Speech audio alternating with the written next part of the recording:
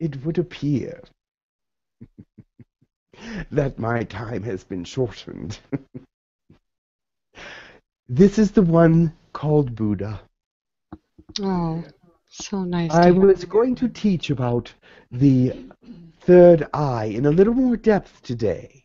However, I think my time has been shortened, and I don't know if I have time to do that. But let me say this. Many have conceptions about the third eye that may not be true. Oh, yes, it does have to do with clairvoyance and seeing the things that are beyond the realm of third dimension. It does have to do with seeing and and creativity and the very idea of understanding all the things of spirit that you were once confounded by. As the third eye opens, your understanding of spirituality, the world, and all things are opened unto you, not just other dimensions and other uh, other beyond senses, but also the world that you live in becomes much more clear, becomes much more livable because you can understand it. And so, therefore, when you are intending for the third eye to open, intend all these things. There's so many connections with the third eye, not just with the supernatural. the supernatural is part of it, but not all of it. So, therefore, make sure that you are looking at all the things that the third eye brings. All the things. Remember, it'll help you understand yourself as well. It also under gives you greater health. Why? Why is opening the third eye bringing health? Because it is an energy that comes from God, that the third eye is a natural energy that is part of all bodies. It comes from outside, it comes from inside, and it lightens up that. You see, the color of that chakra, what color is it? Indigo. What color is that? It is a deep, deep, dark blue. Deep almost black. But as the third eye opens, it sheds a light on that, doesn't it? That is the eternity, the void, all the things that are, that come together to make that darkness or dark color. But yet, when the third eye opens to a certain point, it refuses to accept that it is only one color. it is the culmination of all the colors before it. If you put them all together, it's going to be a very dark color, is it not? But this color tells you that it is of a wise place. God is in the void. God is in the silence. God is in the nothing. There is no such thing as nothing because God is there. Think about that.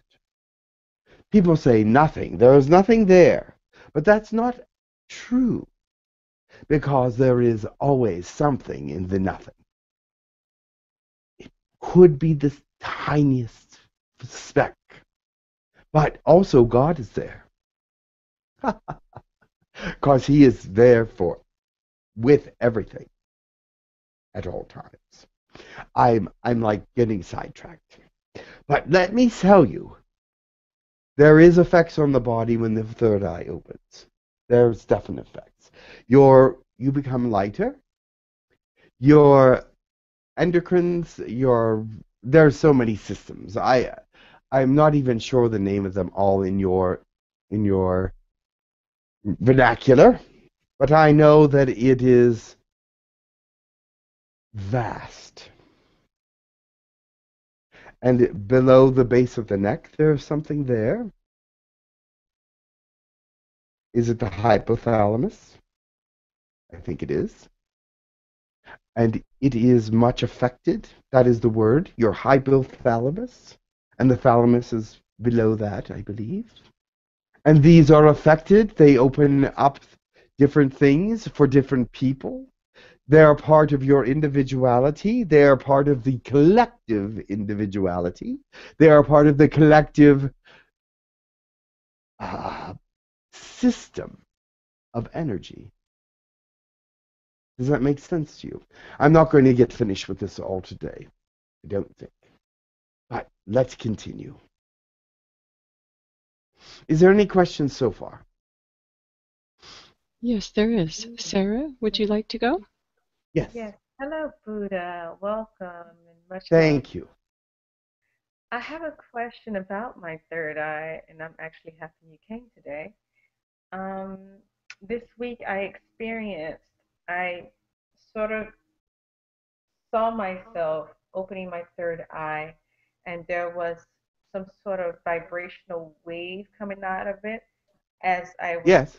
toning, um, a, the, like a very deep sound. Ah, beautiful. Well, you know, the sound of the third eye is. Mm, that is the sound that opens the third eye. It is a toning sound. It's the mm. Now, you've heard of the om. That is Yes. the sound of the sun, the vibration of it. The, the sound the sun makes in the sky, in the in the solar system. If you were to record the sound of the sun, it would be um,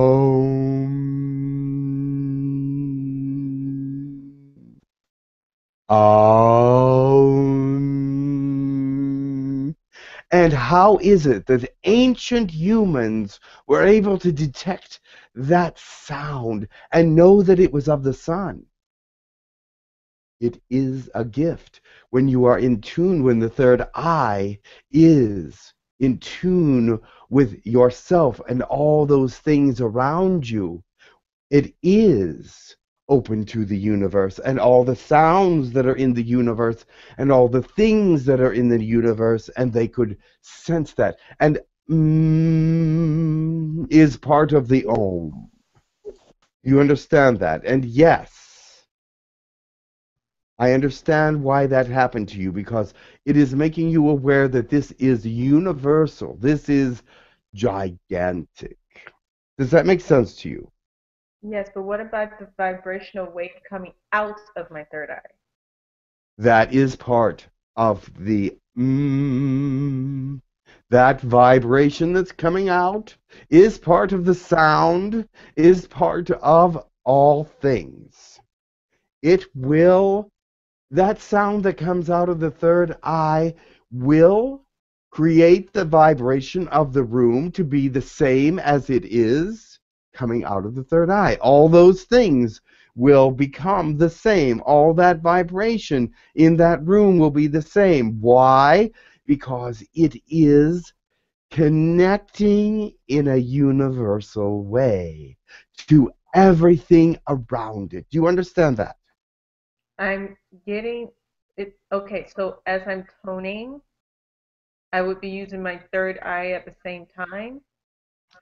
And yes, and that is wonderful. And let me tell you what that does. I have I'm already starting to explain it to you. It connects everything in the same vibration. Now, why is that important?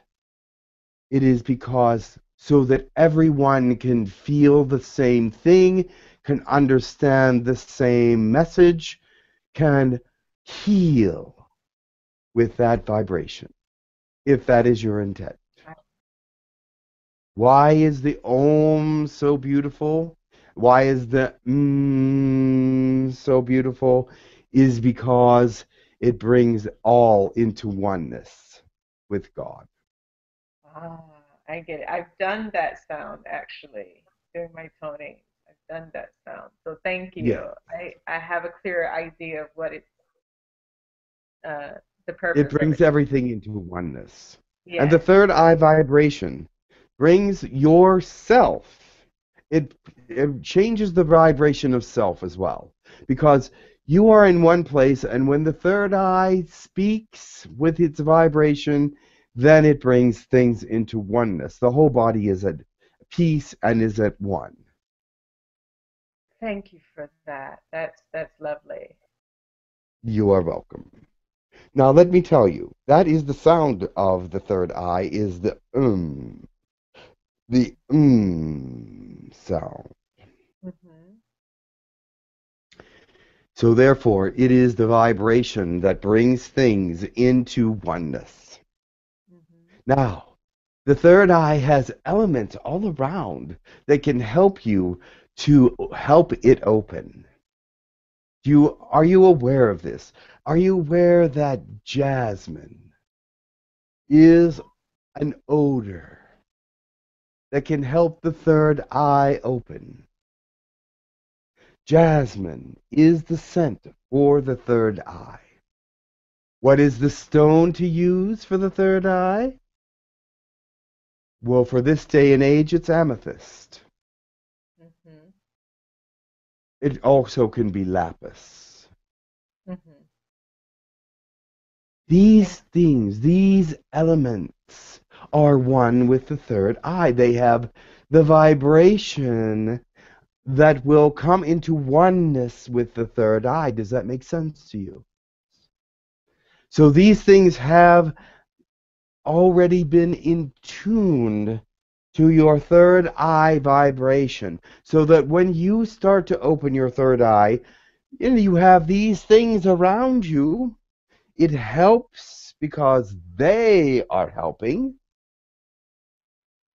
they are helping with your intention with your purification with your love with your understanding that all things in the universe stones, odors, vibrations, planets. Jupiter is also the third eye's planet. Were you aware of that? Why is Jupiter the third eye's planet? It has a huge eye on it. Yes. And that is not really the reason, but I always remembered it because of that. hmm I can see the planet and see the big eye. But it, what I'm trying to say about it is that Jupiter, that if you would intend that it help you open your third eye, that planet is geared to the third eye. hmm Why? I don't know, but it is. God has made it that way. There's so many things and elements and thought processes connected to the third eye. Is there more questions? Yes. Come closer. Is the third eye to be open all the time, or is it um, just during times that you need it? No. The third eye is opened gradually. It does not open fully for one moment to give you one thing and then close again. What happens with the third eye is that it starts to open with your the beginning of enlightenment. And as you learn and grow in spirit, love, understanding, the third eye grows open a little more and a little more and a little more. Now, will it ever be fully opened? If it is, you are one of the wisest and greatest people that ever lived because it is not to be opened entirely until probably the end of your life. But there are people with their eye, third eye wide open, and it was because of drug induction, psychological problems, things of this nature that were not quite natural for them to experience. I'm not sure I could go into that much further, but if you would look at a, a heroin addict, and there are machines that can look at the, the different chakras that you have nowadays, you will see that a heroin addict's third eye is all the way open. But does that help them? No. What it does is it they are living in an in a world that is horrific.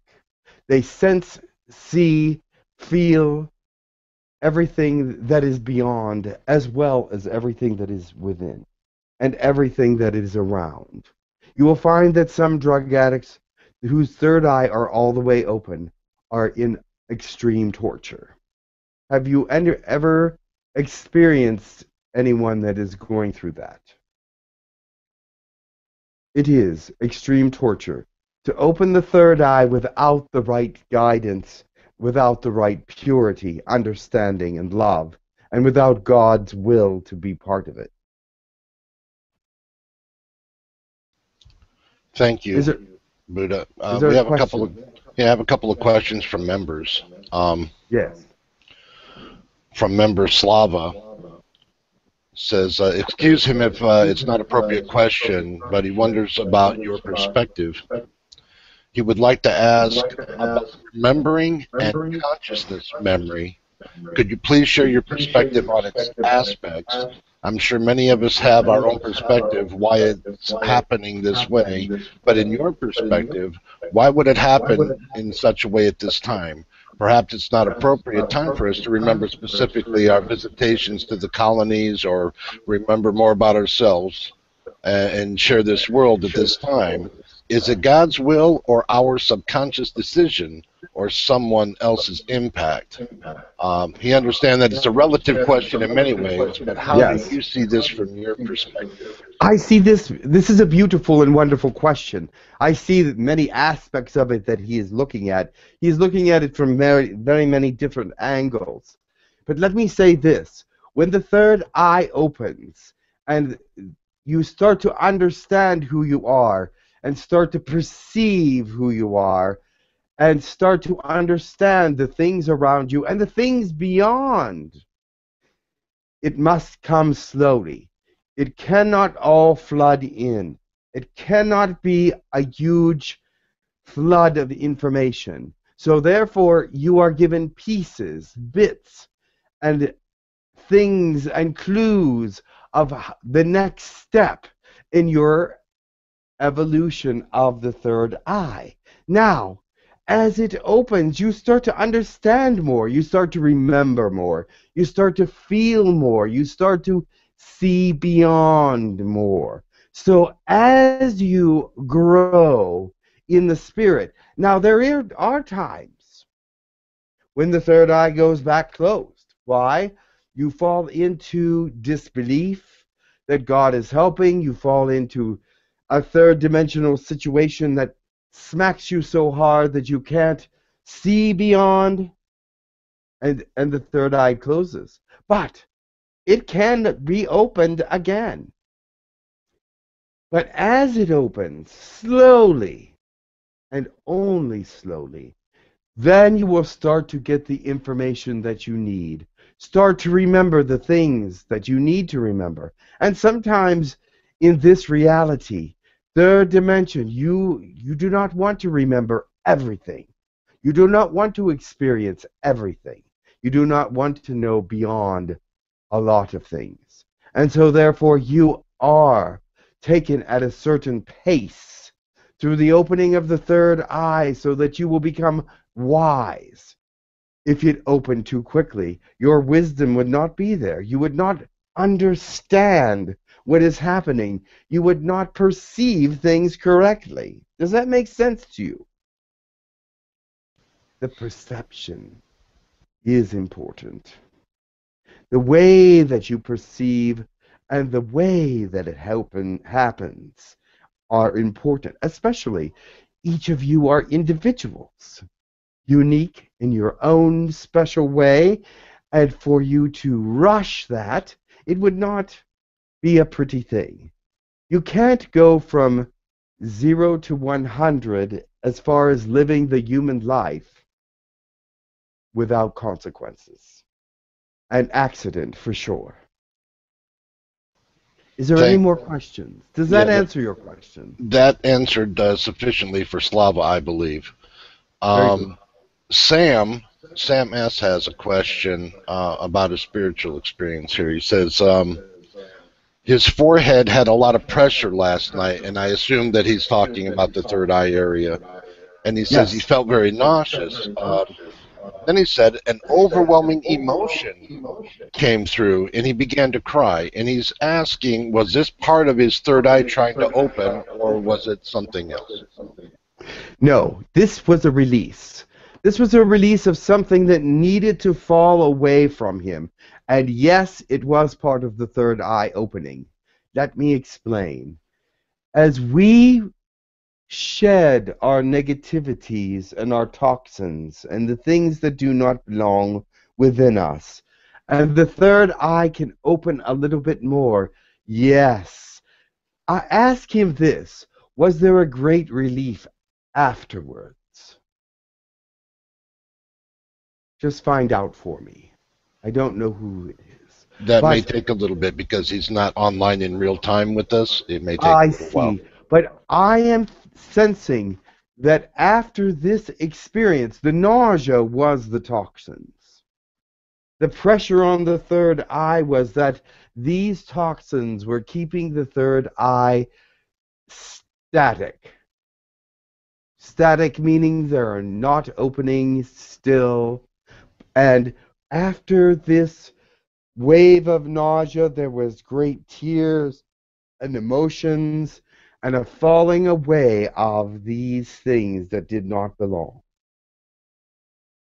He may not even be aware of what that was. But he has been looking spiritually for an, a greater experience in the spirit. And so that was something that was a step forward. Does that make sense to you? Yeah, I just realized that Sam is here. I didn't. I didn't know that. I didn't realize that. Sam, can you unmute and uh, and speak? Yes, thanks, Dan. You hear Did me? you fe- did you feel a great relief after the tears? Yes, I did. That is because something fell away. Did I, did you hear the explanation that I gave of what happened? Uh, yes, I did. Thank you. And did that did you understand it and did it make sense to you? Yes, it makes sense. There is something in your life that was burdening your your entire life actually in in in your body in some way. And whatever it was, finally you realized you didn't need it any longer and it passed. Okay, I got it. Congratulations. Thank you. Thank you, Buddha. That was a beautiful thing. And yes, your third eye did open more. Okay. Is there any other questions about that? I, Uh, I sense that there is something else. Yeah, I have a lot of questions, but I'm a little uh, all choked up right now, so I I can't really talk. Go. But I'll go ahead and pass on the mic. Thank you. You're welcome. I love you. Love you. Continue on your path. You are making progress. That was beautiful. Thank you. Okay, Buddha. Carolina has a little question here that she would like to know what is the wavelength of the Om? The wavelength of the Om, I do not know what it, how many megahertz or whatever it is that you are looking for, but it is, when it comes out, when you do the Om, when you experience it, when you create it, it is exactly the way it should be. So you do not have to worry about what what its frequency is at that moment. You only have to worry about creating it, coming up out of the soul it will cause a great oneness to occur if you continue it long enough. And the more that you go, the longer that you go with the Om, the greater it extends out. It keeps, it puts that vibration on everything. That exact vibration becomes the intensity, the atmosphere of the room, of the place, of the walls and the ceilings and the floors, of the pictures on the wall, of all the people that are there, especially if they're oming with you and sharing in with the vibration. But even if they don't share, it will come to them and it will seep through the surface of their being until they feel one with the room, one with the all. It's just a matter of time. Does that answer your question? Yes, thank you so much. Dan? You know, have a couple of more questions from members. Um, this one from John Lee. Um, she says it's her understanding from the oracle of Ephesus that we are to somehow unite your bowl of love within us with the Christ within us.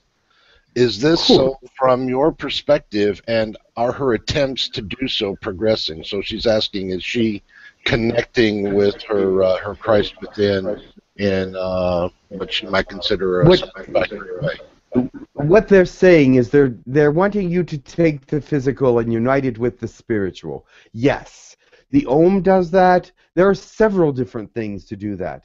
The bowl of love is the physical love that you feel, the physical part of love. You feel the emotions. You you have touch. You have sensation. The bowl of fire, and that connected with the spirit, which is also a fire becomes a great flame. You can connect them together. Now, the soul and God are one. And that fire comes directly from God. We are in this day and age, as you are experiencing, this is the new age of experiencing how God is.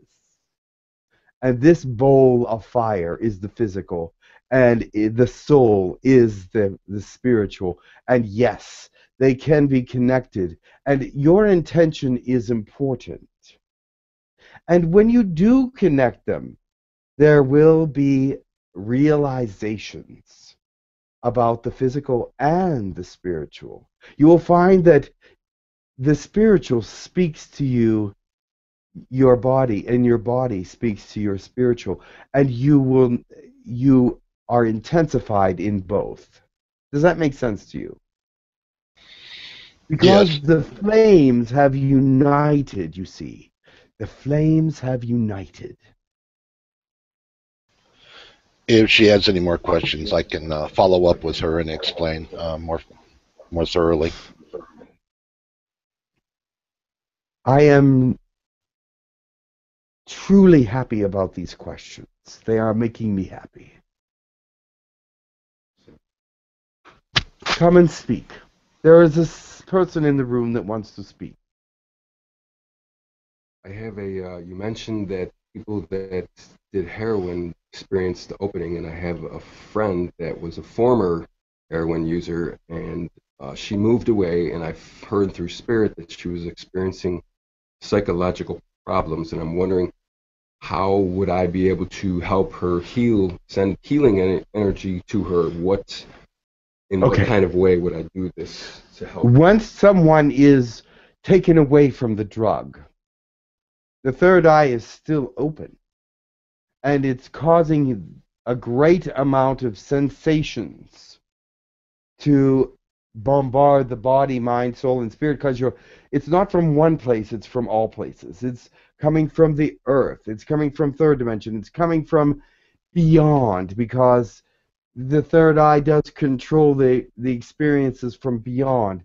It's from psychic energy as well, from the brain, and all these things. And so once the drug is removed, the the psychological damage has already been done.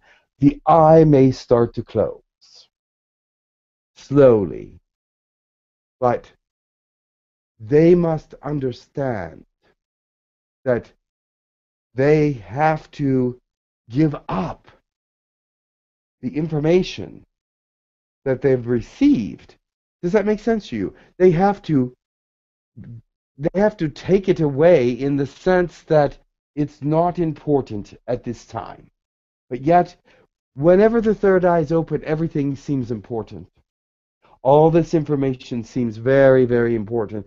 And it they have no choice but to see it. They have no choice. The third eye is all the way open, so the information is coming.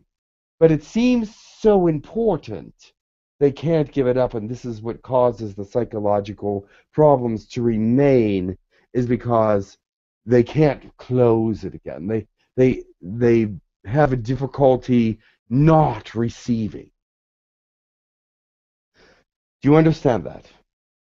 But if they could start to close it, if they could just block it in some way, and I'm not sure they do have some psychological blockers, some drugs in this day and age that does do these kind of things.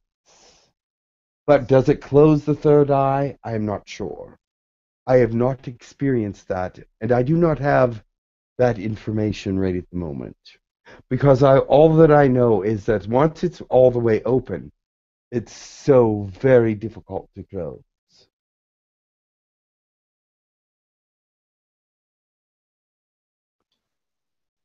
Hmm, Any more you so questions? You know, I have a quick question if I can. Yes. Um, my name is Valerie, and I would like to know if anyone has the capability of being uh, or holding uh, the history of the Akashic records. no one has enough space in their memory banks to hold the Akashic. re- You must understand what the Akashic records are.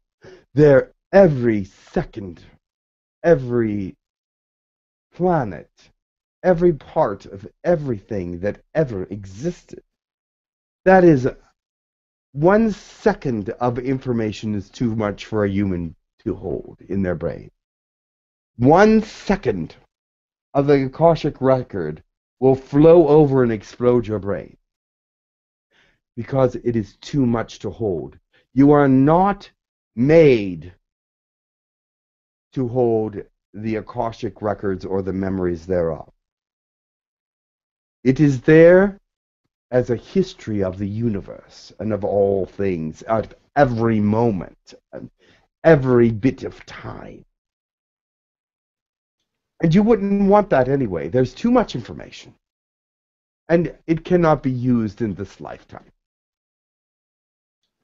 Only Okay. so much information can be used by your unique perspective and life. And your unique perspective of life has a purpose.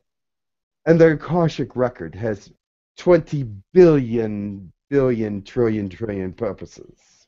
And you only have one. hmm So therefore, it would not be even advisable to do a second. Mm, That makes You sense. understand that? Yes, I do. I love you dearly, but that kind of information is destructive. Yes, I can imagine. Um, also, I had another quick question here on Yes. that same on that same uh, frequency. Um, if nice. if this is there any way a person can revoke uh, any type of DNA things that would change their life now? Does that make sense? Like Um, contracts, you mean- things like that. Oh, let me ask you a question first. and see if Okay. I understand the question. Do you mean after you've received some DNA, is there any way to get rid of it? Yes. Or do you mean, is there any way, to, if it's someone wants to give it to you, not to accept it? Yeah, both. Once you've received some DNA, it's difficult to get rid of it. It can be done. It can be done, but it is not an easy process. The other thing is, If there is DNA that someone wants to give you, you do not have to accept it. It's very easy. It's a matter of free will. All you have to say is no. It's not difficult. They cannot force it in unless they're doing an operation and cutting you open and put injecting DNA, but that is not happening. What is happening is you are can only take the DNA if you accept it. If you do not want it, do not accept it. Because after you have it, it's difficult to get rid of. That's great to hear. And it's great information. Um, is there any way that a person can, uh, like, are you given contracts, so to speak, before you come to Earth? Are we all given contracts that we are?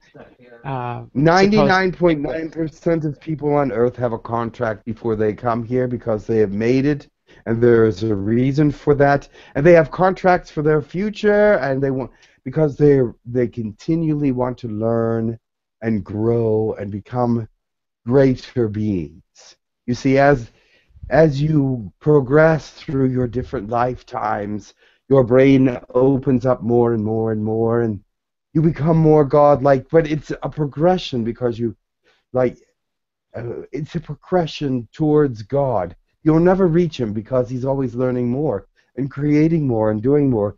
But it is a progression toward a godlike existence. It's a beautiful thing. So there really would be no need to revoke any of those contracts then?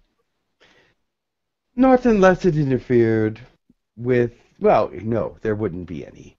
But there are some people that change their contracts for one reason or another. They're they're tired of learning certain things a certain way. There are no negative things attached to those contracts, though. Is that correct? No, not not. Once you make a contract, it's the, it may seem negative once you're down here, like pain, sorrow, suffering. But when you're in the oversoul, it's not negative. It's a learning experience. It's let me feel that. Let me know that so that I can help somebody else with it. It's actually very positive. Well, that's wonderful. And again, very good information. I'm glad I got a chance to talk to you, Buddha. Much love. And I'll pass the Much mic now love. to Dan. Dan, Buddha, I have a question about the third eye, the whole third eye experience thing. So for those people who who the third eye is just words, like they they've heard of the third eye, they they're not quite sure what it is, how it is, where where it's located. So the third eye is like the pineal gland projection at the forehead. And then is there something that you can share with like the more lay people, the the more beginner people of how they can really tap onto it, how they can really begin to use it in their favor, how they can really begin to get things a rolling and, and help them with their spiritual growth. Can you can you maybe say something Yes. to help those earlier folks? Well, let me tell you this: the third eye is never completely closed unless you're dead. It has to be open a slight bit for you to be able to perceive, to understand. It, you may not be going into beyond dimensions with the third eye being only opened a small way, but you're perceiving third dimension. You're perceiving your life, your body, the way you perceive it at that time, with the with the third eye just slightly open, because it is the center of perception. It is what it is on the level of spirituality as well. If it's only open a little bit, you can only perceive so much spirituality. And some people believe that they're very spiritual, but their third eye is only open this much, and they're perceiving spirituality in such a small way. And even a small bit of spirituality is huge. You must understand that. To understand even the smallest bit of spirituality is lovely and beautiful. But to help them jumpstart their third eye is to know that it exists, number one. Without the knowledge that it exists, there's no way to open it. I mean, any farther than it's open. And after they believe that there is such thing as a third eye and that it can be opened, then you seek ways to open it. And that is a voyage for each person. No one takes the same voyage opening the third eye. Everyone has their own unique way to perceive their life and to make it better if they can. So therefore, I cannot give you a path except for to say, seek and you will find, which you've heard before. But it is true. But your ways of seeking. Some people look in books and read different things. Some go to a guru and have readings. Some uh, pray and ask God. Some meditate. There's many, many ways to take your path. Some do very little about it. But they'll they'll say, "All right, I have a third eye. So what? What good is it doing me? I live here. I I'm having an okay life, so why change anything?" So there's another path to take, the path of indifference. But if it your third eye, which it is, is open just that little bit. It's like opening a pistachio shell. Do you know? You see them. You see that there's something in there, but sometimes it's very difficult to get to it. Mm-hmm. You understand that? So, and other pistachios, it's easy. They just break right open. Depending on your belief systems, depending on how you want to perceive it. It can be a very difficult journey, or it can be a much easier journey. That's all up to you. Would it be simple enough to just say they could just give their third eye some attention, maybe give it a little focus, maybe get into a light meditative state, maybe do some oming or something? Could they just begin giving it some attention, and then that could um, could blossom and grow into a, a really good connection as they feel their way through their third eye? Absolutely. Whatever they choose to do, whatever is exciting for them because if the path is not exciting, it's not going to be taken. If the path is too tedious, then no one will will walk it. Okay. So awesome. yes, find something that interests them. That is what I'm saying. They must find their own spot of interest, their own place to begin, their own place where that says, "All right, this is something I'm interested in." Something that might be very helpful. So it sounds like provided as long as they would give their third eye some focus, maybe make a little time for it, and then follow their inner guidance from there, then they should be well on their way to uh, growing into whatever they're going to be then. Depending on their belief systems, absolutely. Awesome, wonderful. I think that that might do them quite well. Thank you, thank you, Buddha, for helping me with those. It appears I had more time than I thought. Oh, yes, it's okay, Buddha. Um, Jeremy is a new member just joining with us today. Very Jeremy, well. would, do Hello, you have any questions? Would you like to unmute and speak? Yes. Yeah, I just want to know if my if my grey who is basically what he say he says, says he is, and if he's basically gonna help me to um, help me awaken the earth from the fake from the fake reality. I'm I'm not sure I understood the question. Something about helping you. Is something going to help you? What what was going to help you?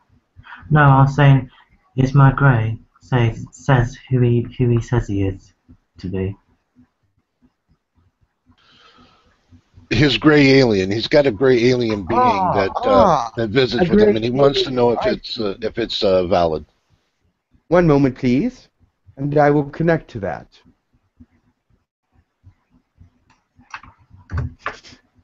Does he have a name? Yeah, And what is that name? I called him Zeph, but his real name is is um uh Elisio. Elisio or something. But I couldn't pronounce it. He so I- is real. Huh? He is real. He is real. He Okay. is real. And he is there for your best interest. He is one of one of the type of greys called Elian Shondai Zendi. He's from that. The Elia Shondai Zendi. They are helpful greys. And he does care about you. I am not sure of exactly what he wants to teach you, but he feels that you have a great purpose. And he is there to help you. Yeah. I just want to know if he if he, he says who he's who he really is, basically. If he's Who he says he is. huh? Yes. Okay. Um There, there's a lot of noise coming from somewhere. oh it's just me walking around, sorry. Oh, that is all right. Um, well, yeah, I just wanted because um, a lot of people have been saying that greys are evil, and, uh, and I was just Not all greys are evil. There are good greys, and there are bad greys, and there are neutral greys. And Elias Shondai Zendi are one of the ones that have come into the area within the last, I would say, maybe eight months, seven months, into Yeah. your earthly atmosphere in a very big way. They were Yeah. there before, but they were only in a very small number. Okay, um, I just, um, I'm supposed to help them, this isn't right. I, come, I said I come from them. And like, I cannot hear you over the noise. He said that, um, he said that uh, basically my mission is to help me, Yes. but I don't know what to help. It says to help them wake everyone up because everyone's afraid of them, and it's just to help them with that. But I don't know if it's, you know, true or if he's part Yeah. of something. Yes, he's there to help you, and what he says is true. And um, there must be something about you that he really has connected to.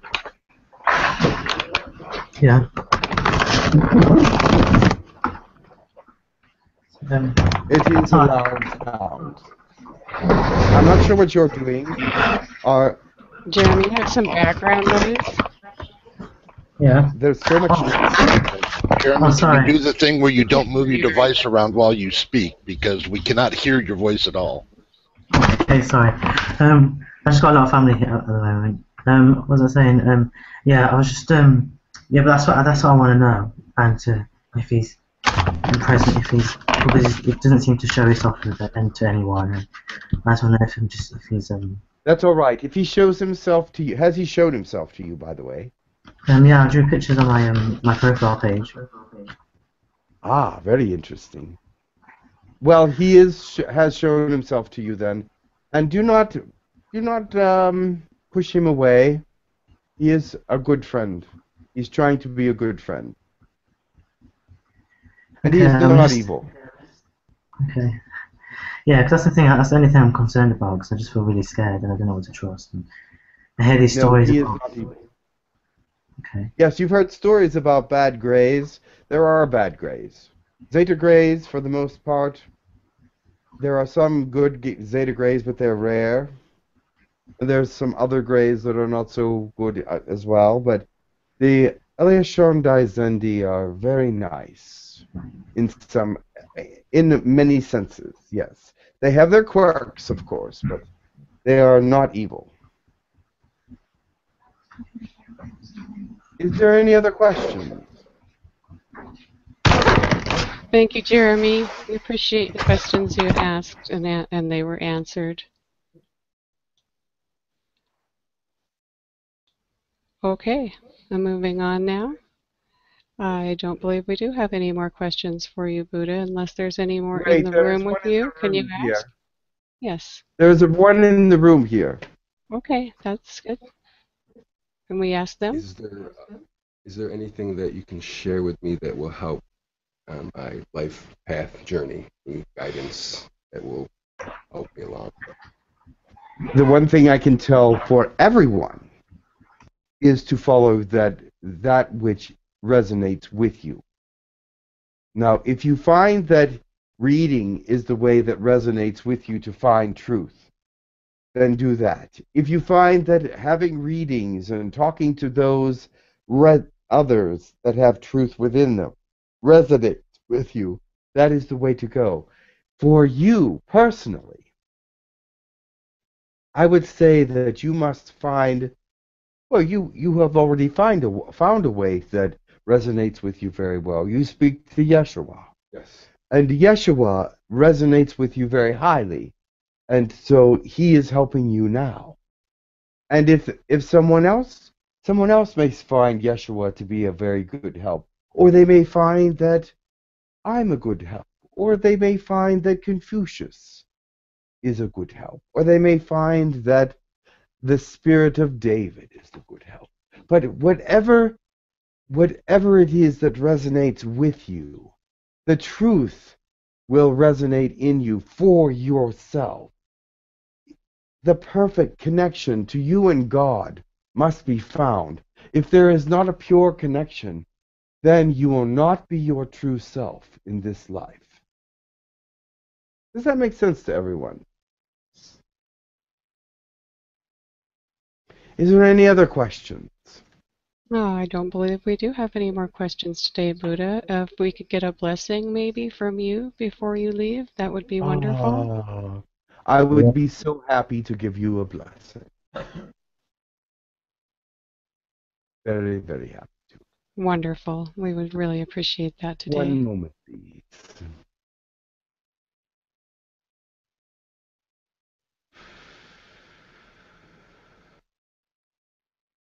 Ah, there is so much light in the universe. But can it all be seen at once? No. Grab a hold of the God light. That is your portion, which is a great deal at this time. And hold tightly to it so that you may grow and be blessed. God wants no one to live a life of horror, t- terror, and trouble. However, there are contracts that do have some trouble in them.